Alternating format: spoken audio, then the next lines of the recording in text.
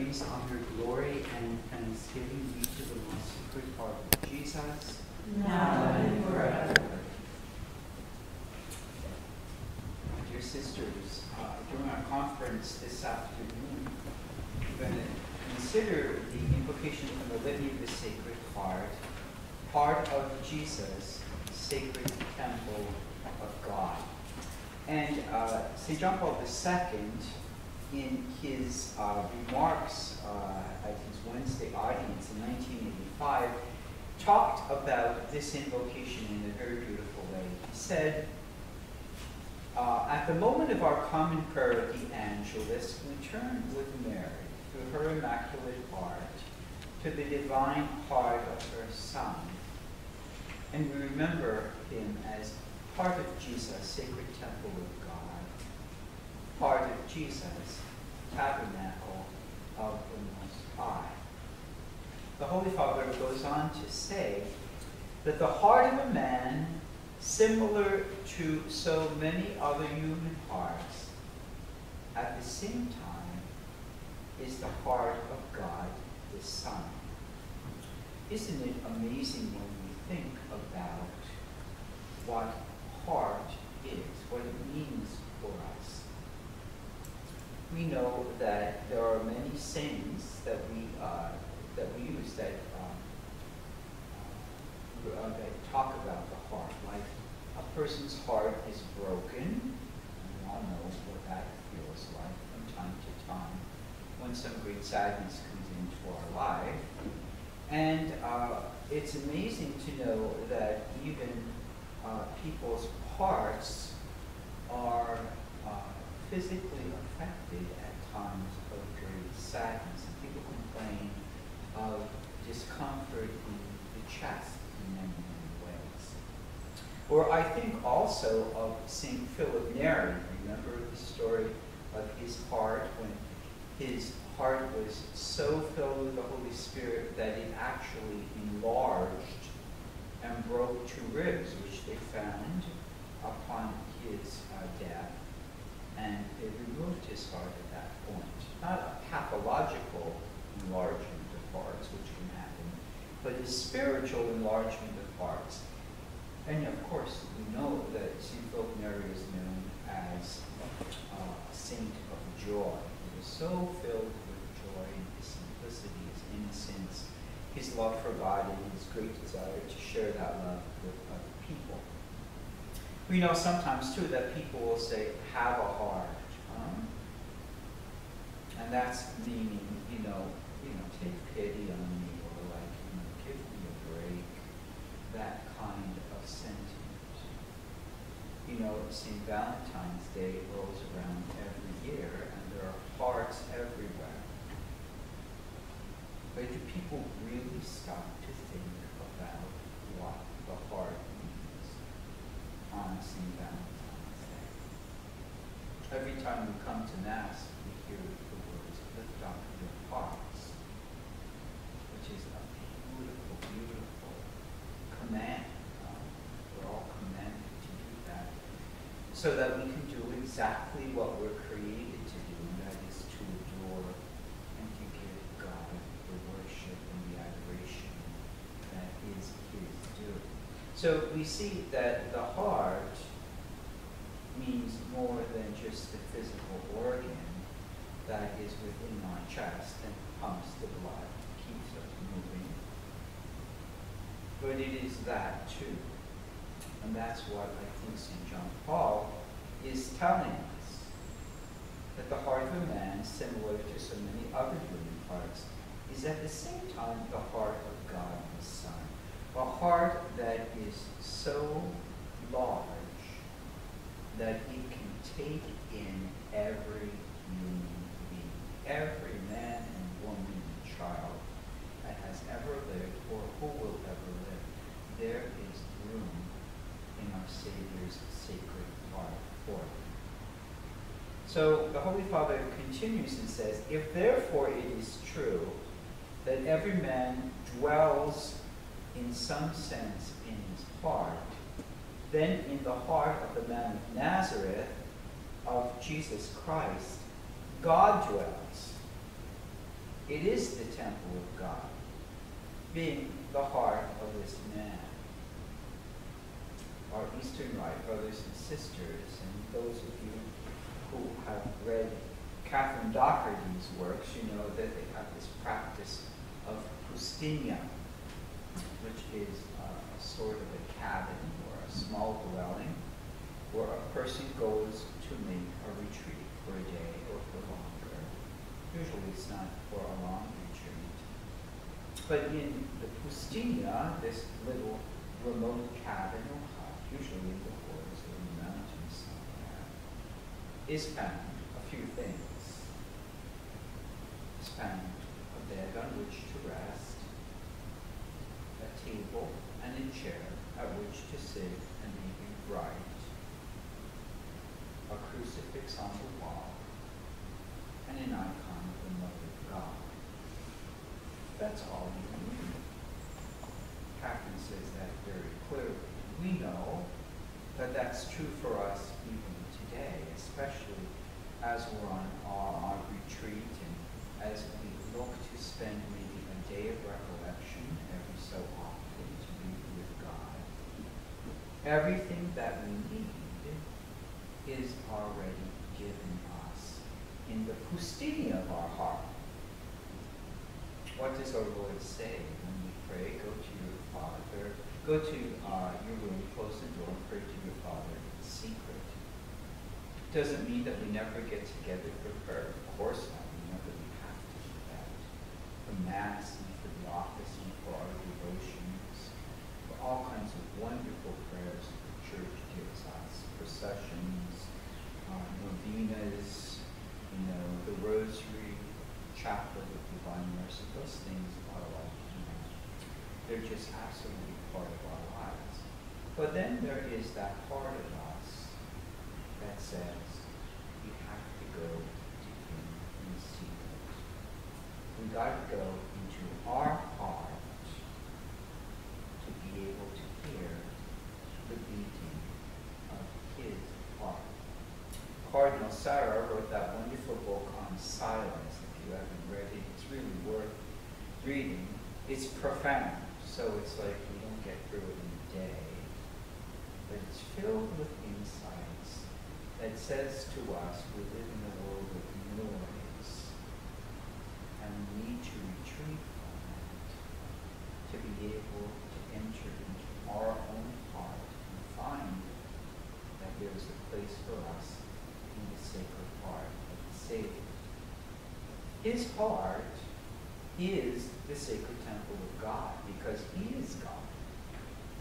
This man of Nazareth, as St. John Paul II calls him, true man is also true God. So in his sacred heart, and the heart becomes an image for the whole person, in his sacred heart dwells the fullness of the Godhead and is the sacred temple of God. St. John Paul II then says, God the Son is united with the Father as the eternal. God from God, light from light, generated, not created. We're getting into questions now about the Trinity. And as much or long as we think about it, we know the Trinity as a mystery We'll never plumb the depths of it. Nobody will ever read the, will ever write the doctoral dissertation that explains it. Because as a mystery, it's not to be analyzed and proven and explained, but rather, as a mystery, it's simply to be embraced, to be contemplated, like in the sacred heart of Jesus. The Son is united with the Father in the bond of love which is the Holy Spirit. Let's leave. Let's thank God for that. So the Son, our Lord, is united with the Father in the Holy Spirit, who is the breath of the Father, St. John Paul says, and the breath of the Son, And in divine, in the divine Trinity is the love person. Love hyphen person. The Holy Spirit, we could say, is the love that binds the Father and the Son together. The Jesus Christ, is therefore, in the Trinitarian sense, the temple of God.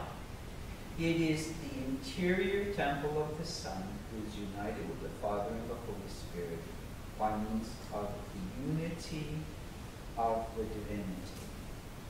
Three persons in one God. Thank you, St. Patrick, for the shamrock that reminds us of that. Those three leaves, which are really part of that same branch of the plant. St. Augustine would call uh, the shamrock, or many other things in life, the vestigia Dei, the footprints of God. And he says, along with St. Bonaventure, as we look around creation, we see the footprints of God everywhere.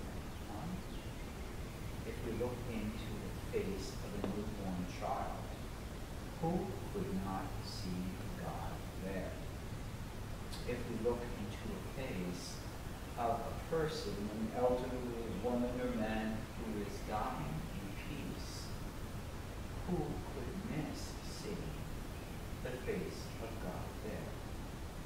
As a husband looks into a wife's face, or a wife looks into her husband's face, after being united in love, they sing Every mother and father will look at a child, no matter how old, or no matter how good or bad the child's behavior is, and still see God. Because they generate that person through the power of God's love. And for us, in a special way, when we look into the face of someone that we know is close to God, we see God Himself. I've known a number of people like that. In my first parish assignment, there was a woman who was like one of those many women who are like the prophetess Anna in the temple, you know.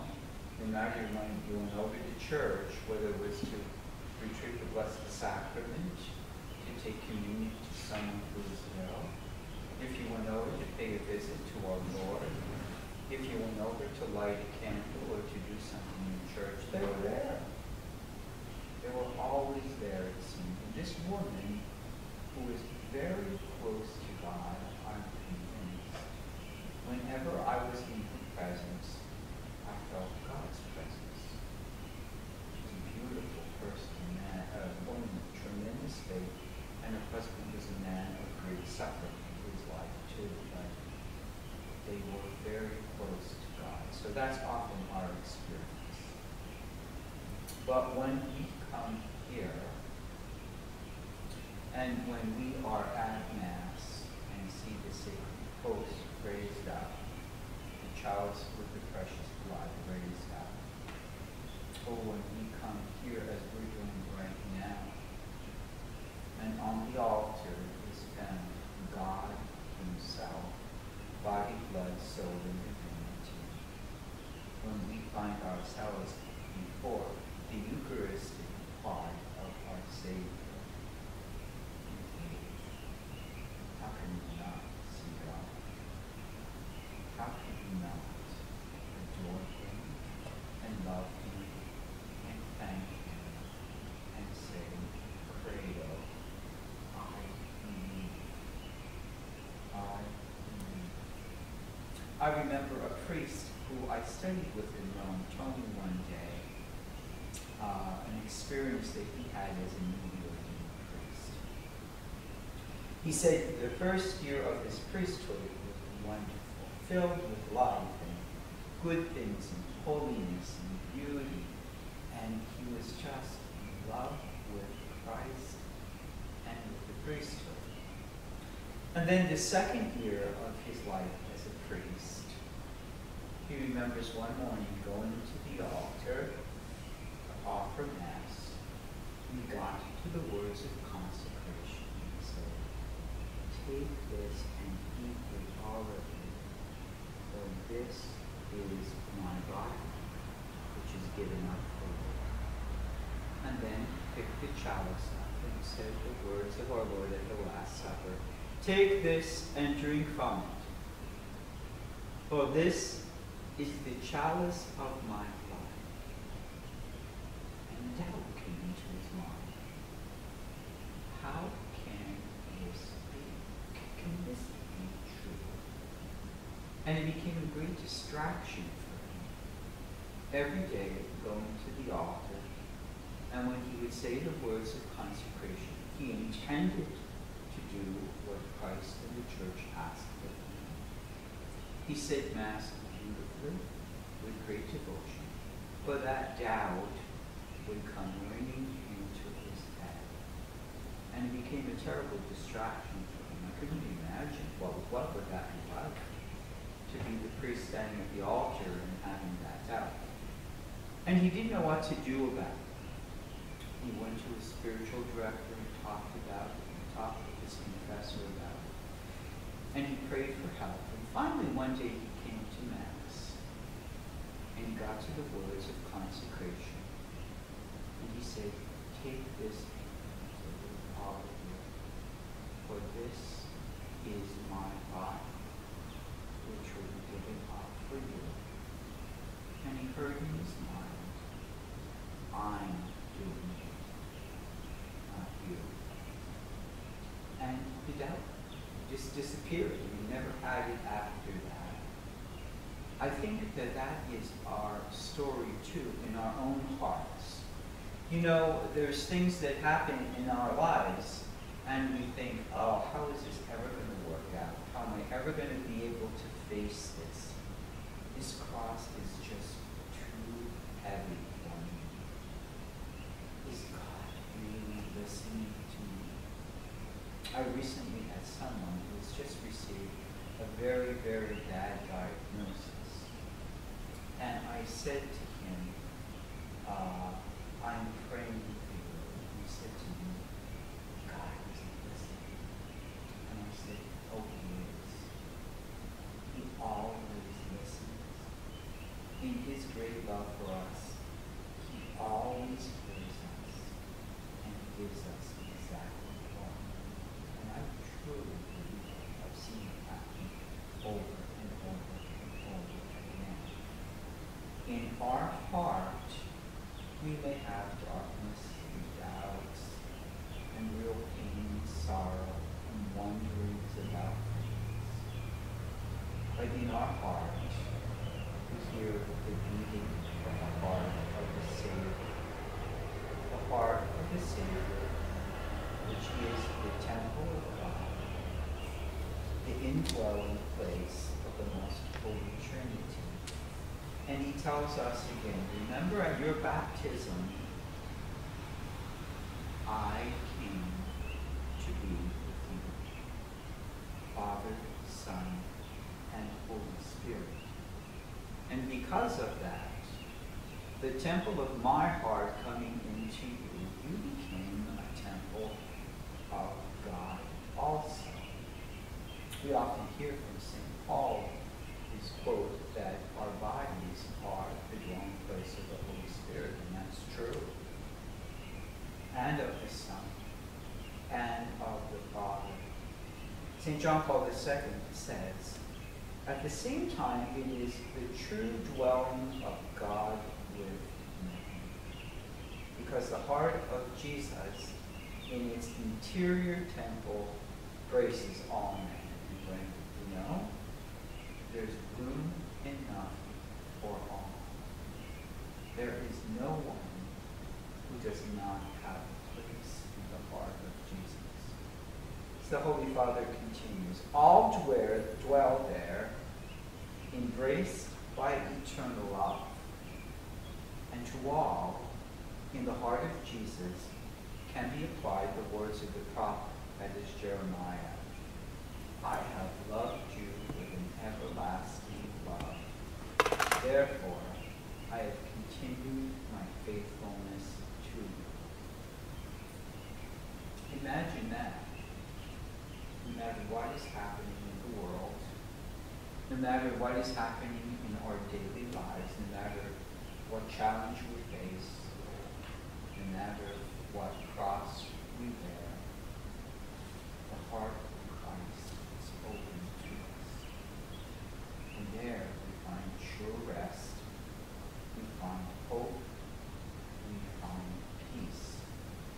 And we remember that we enter into that heart because it was pierced through. It's the entry point of his sacred heart. It's the gateway, we might say, into his sacred heart, from which flow blood, water, from which flows his love. If he did not undergo his passion and the piercing of his heart by the sorrow of all sin, there would not be a gate. But he did that so willingly and so lovingly that we know that that gate is always open to us. St. Joseph Sebastian says that the most sacred heart of Jesus is the wellspring overflowing with graces from which all can draw, the source which is accessible to all. The Lord Jesus invites everyone to this fountain. All you who thirst, come to the water. We know from the Old Testament that beautiful scene of the water flowing out from the temple. And you know, one of the antiphons for the sprinkling rite, the one that's used during Easter time, is called the Vidi Aqua. You know, I saw water flowing out from the temple.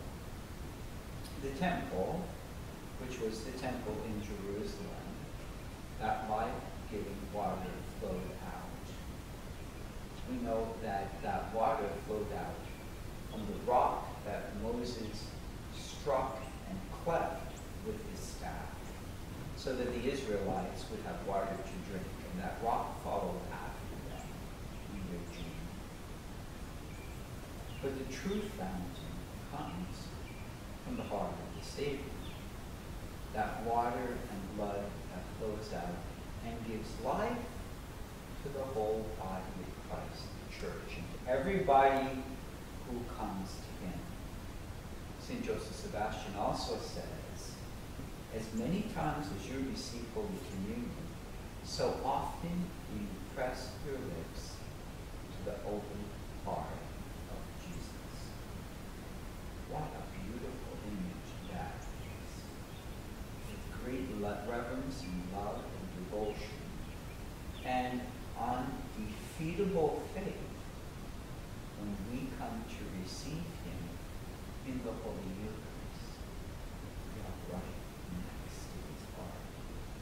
And as we receive His Eucharistic heart into us, He receives us into His Eucharistic heart.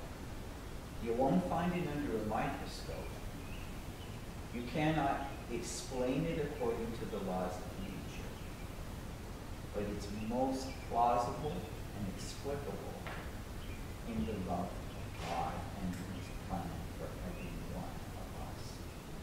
How marvelous is that? Do you know, we have that very beautiful and uh, poignant part of St. John's Gospel where we hear the story of the cleansing of the temple. St. John wrote, Now the Passover of the Jews was at hand, and Jesus went up to Jerusalem. Now, anytime we hear in the Gospel, Jesus is on his way to Jerusalem, pay. Because he's going to fulfill the reason he came among us up to Jerusalem. It's always a hint at his passion, death, and resurrection. And so the gospel continues. And he found in the temple area men selling oxen, sheep, and doves, and money changers, money changers at their tables. And making a kind of whip of cords, he drove them all out of the temple, also the sheep and the oxen, And he poured out the money of the changers and overturned the tables. And to them who were selling the doves he said, Take these things away, and do not make the house of my father a house of business. And his disciples remembered that it is written, The zeal for your house has consumed, as the prophet wrote. The zeal for your house has consumed. But think about it, it's sort of puzzling, isn't it, that the sheep and the oxen and the doves were there because the Mosaic law called for it. That when people would come to make an offering, they had to bring, they had to be able to procure something. So it wasn't that that was a bad or an evil thing, but rather what our Lord is saying, you don't need these anymore because I'm providing the sacrifice. I am the sacrifice. I am the Lamb of God, and I willingly give myself over in sacrifice. Hinting at what we heard of this morning about Abraham and Isaac, how the Lord provided the sacrifice, the offering. God still provides the sacrifice and the offering in the time of Jesus and every day at our altar because sacrifice, the victim, is Jesus, our Savior, who is the great high priest. The gospel continues. The Jews therefore answered and said to him, What sign can you give us, seeing that you do these things? And answer Jesus said to them, Destroy this temple, and in three days I will raise it up. He's talking about the temple. The Jews said, Forty-six years has this temple been in building, and will you raise it up in three days? Like, are you kidding me? How are you going to rebuild this temple in three days? But he was speaking of the temple of his body. When accordingly he had risen from the dead, his disciples remembered that he had said this, and they believed the scripture and the word that Jesus had spoken.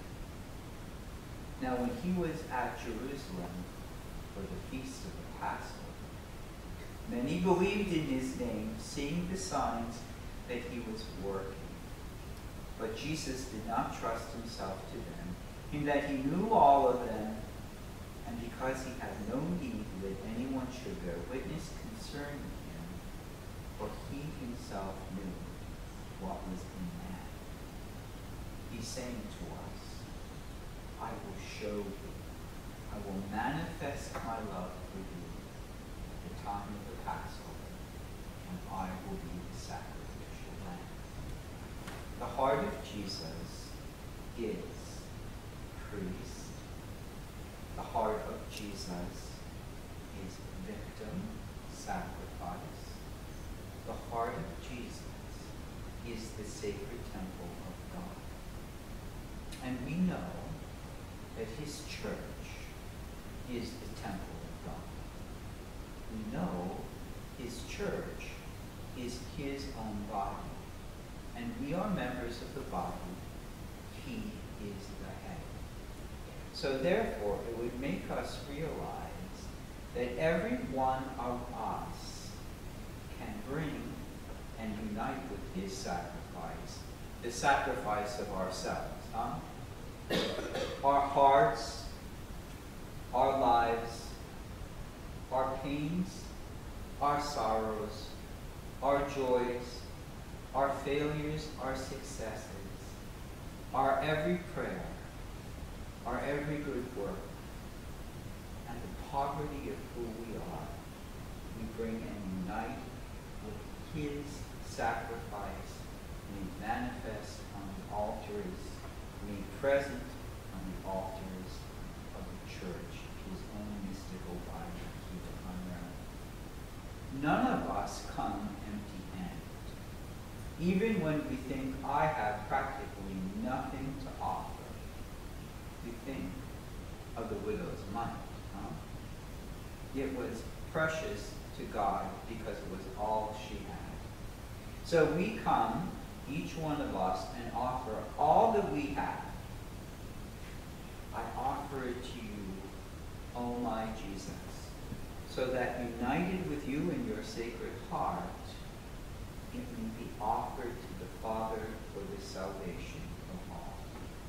And when we do that, we find that untold graces are poured out upon us. If only we have eyes of faith to see. If only we have our own hearts, finite as they are, to be open to the infinite riches of the sacred heart of the Savior.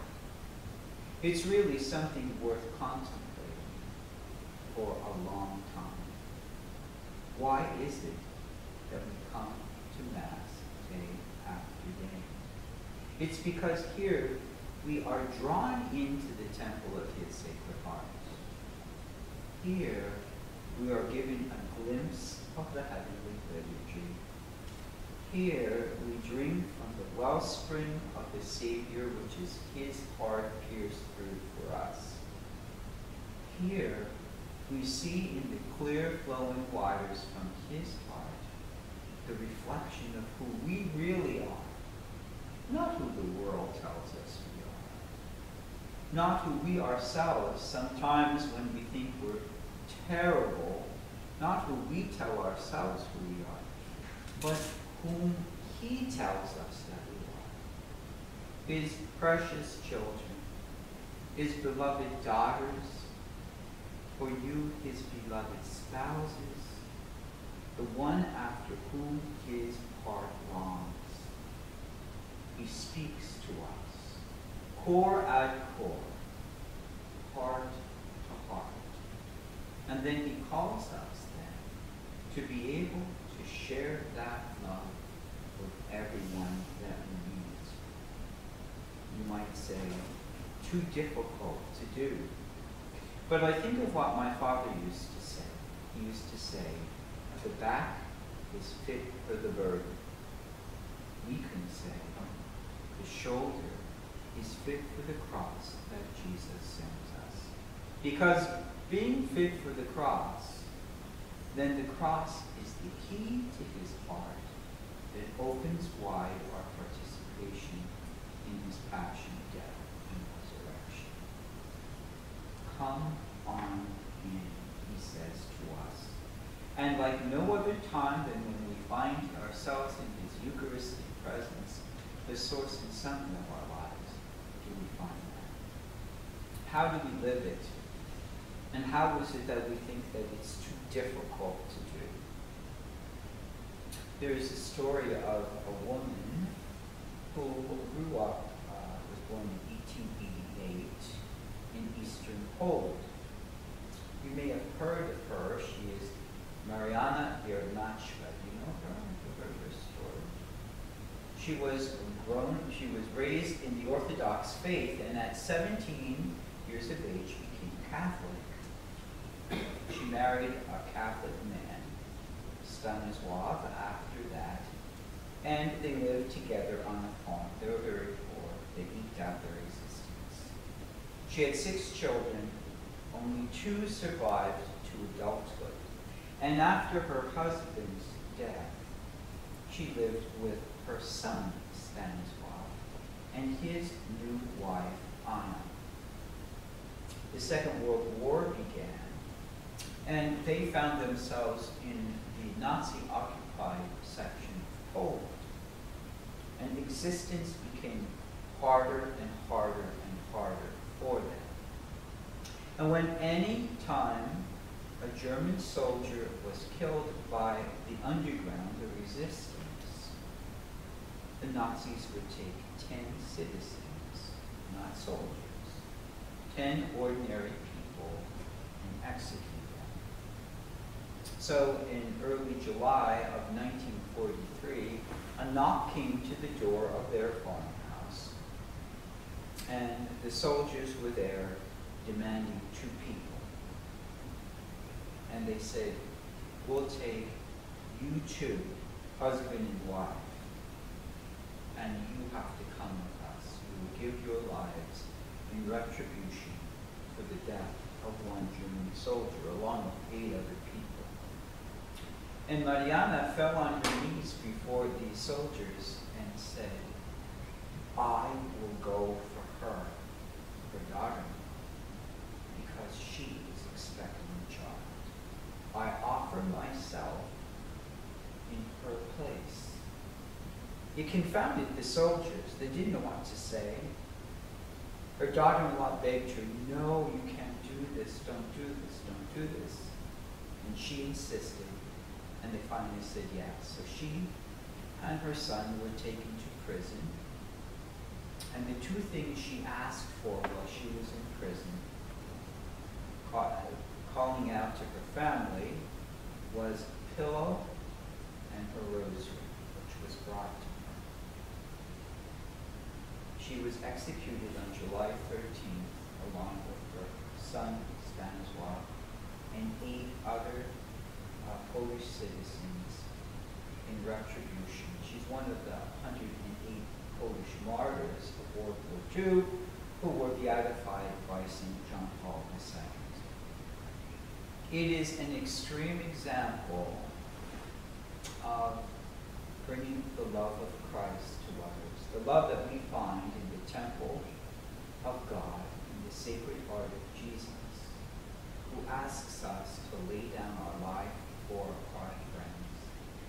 Greater love than has no one than this, the Lord says, and the one who lays down his life for his friend. She did it in a beautiful and a dramatic way saving not only her daughter-in-law, but her grandchild who was to be born in a few months. What will the Lord ask of us today? Probably there will be no soldiers knocking on our door to take us away. Probably we will not have such a dramatic end. Although I do wonder about that sometimes, and I wonder where we're going, what's going to happen and those who believe in the Lord Jesus, will we be willing to lay down our lives that Polish grandmother did? I would like to say yes, I would. But then I pray to God that I have the strength to do it. To lay down my life for love of the Sacred Heart of Jesus in whom is found the wellspring of all life the source of all love, the origin of all hope, the place of all. Will I do it? I pray God, please God, let me be able to do that in that dramatic way if needed, but in the meantime, in every way that I can each day of my life, when that next phone call comes, that I don't want to receive the next problem that comes to me that I scratch my head over. May I receive everything as a welcome guest and meet in my heart, sometimes breaking, sometimes worried, sometimes so small. May I hear the beating of your sacred heart, and may I bring the love that is in that furnace to others. Praise be Jesus Christ.